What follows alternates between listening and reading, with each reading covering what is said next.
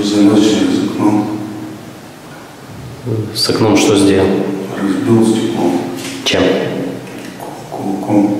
Нападение Андрей совершил средь бела дня. В одной из комнат его ждал приятный сюрприз. Две золотые цепочки и браслет. Недолго думая, злоумышленник схватил их и покинул место преступления.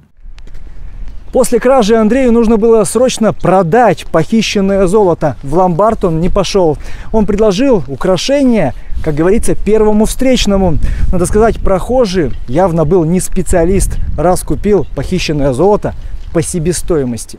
С похищенным имуществом что сделали? Продал За сколько? за 30 с чем-то тысяч. С деньгами что сейчас? Потратил, проиграл в автомат. Все?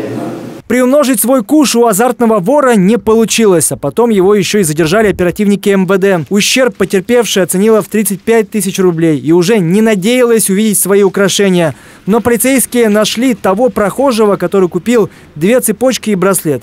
В итоге похищенное было изъято. Сейчас ранее судимому Андрею грозит до 6 лет тюрьмы. На время следствия домушника арестовали. Михаил Вагин. Место происшествия.